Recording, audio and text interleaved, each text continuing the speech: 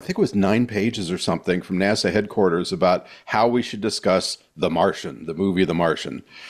And you were the scientific consultant on that. Yeah, that was really a, a, a, another accident in my life, so to speak. Ridley Scott calls up NASA headquarters and says, "I want to talk to somebody that knows something about Mars."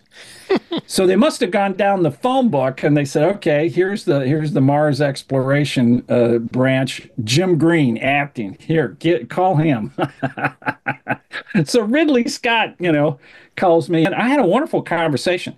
By the time I got done with the conversation of talking to Ridley and about five or six of these other people about Mars, I mean, all we did was talk Mars facts, talk about propulsion, uh, everything from ion engines to spacesuits to, you know, uh, uh, walking on Mars. You, you, name it, they were all over the place. And there were a couple things I couldn't answer. And I said, I, I, I, I don't want to mislead you. I don't know the exact answer to that, but I know who does.